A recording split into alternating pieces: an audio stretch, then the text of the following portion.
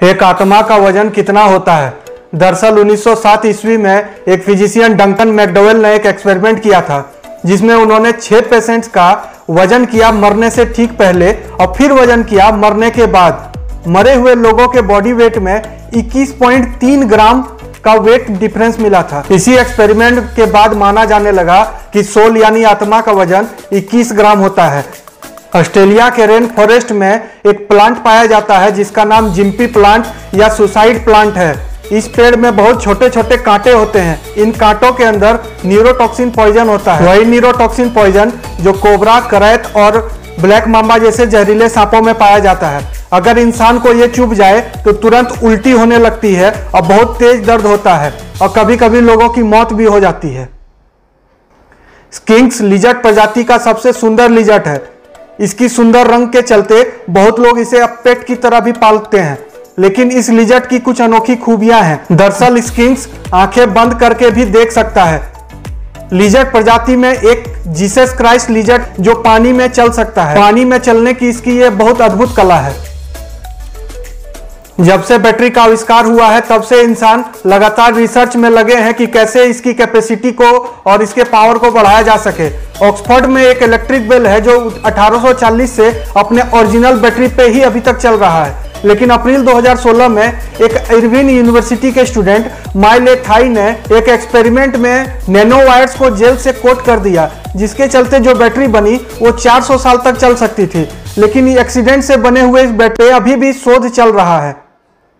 दुनिया भर में एप्पल मोबाइल और एप्पल प्रोडक्ट्स का बहुत क्रेज है। आईफोन की सिक्योरिटी और फीचर्स के सब दीवाने हैं। आईफोन 5s में फिंगरप्रिंट सेंसर को लॉन्च किया था और बोला था सिक्योर्ड फ़ोन है। लेकिन जैन क्रिसलर जो एक कंप्यूटर साइंटिस्ट और एक हैकर भी हैं हैकिंग की दुनिया में उनका नाम स्टारबग है। उन्होंने 24 घंटे के अंदर ही आईफोन की फिंगरप्रिंट सिक्योरिटी के सेंसर को हैक कर लिया था या उसके सिक्योरिटी को तोड़ दिया था। उनकी काबिलियत का अंदाज आप इस बात से लगा सकते हैं कि जर्मन डिफेंस मिनिस्टर के फिंगरप्रिंट्स को उन्होंने उनके फोटोग्राफ के मदद से ही बना लिया था। स्केलेटन फ्लावर अमेरिका और एशिया में पाया जाता है।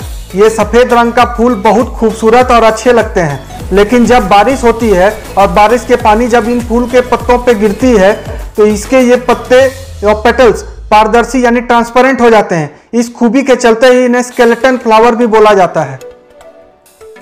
इंडोनेशिया को लैंड ऑफ़ वोल्केनोज भी बोला जाता है। इंडोनेशिया में एक ज्वालामुखी है, जिसका नाम क्वाजेन है। इस ज्वालामुखी में एक अजब सी खूबी है। इस ज्वालामुखी से ब्लू लावा और ब्लू फायर निकलता है। दरअसल इस वोल्केनो से सल्फ़र निकलती है और जब सल्फ़र हवा से रिएक्ट करती है तो उसमें बहुत गर्म ब्लू फ्लेम निकलते हैं। इसीलिए इस वोल्केनो का नाम ब्लू वोल्केनो भी है। हर इंसान के फिंगरप्रिंट की तरह उसका सिग्नेचर भी यूनिक होता है। और यही हम लोग को एक दूसरे से अलग बनाता है। जापान में एक अजीब प्रथा है कि वहाँ के लोग साइन करने के बजाय स्टैंप का प्रयोग करते हैं। इसी स्टैंप्स को हैंको कहते हैं। हर जापानीज के पास अपना एक यूनिक और अलग स्टैंप होता है या अलग हैंको होता है। चाइनीज़ चौक जिसको हम लोग भारत में लक्ष्मण रेखा के नाम से जानते हैं। एंट्स को और कॉकरोचों को भगाने में यह बहुत कारगर है। क्या आप जानते हैं कि यह काम कैसे करता है?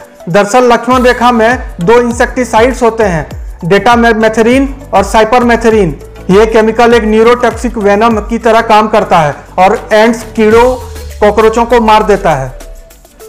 सार्पा साल्फा एक ऐसी मछली है जिसे पार्टी फ़िश या ड्रीम फ़िश भी कहा जाता है। ये मछली स्पेन, अफ्रीका और मेडिटेरियन सी में मिलते हैं। इस मछली में एक टॉक्सिन पाया जाता है। जब कोई इंसान इसे खा ले तो उसे हेलुसिनेशन होने लगते हैं। ये हेलुसिनेशन 36 घंटे तक हो सकते हैं।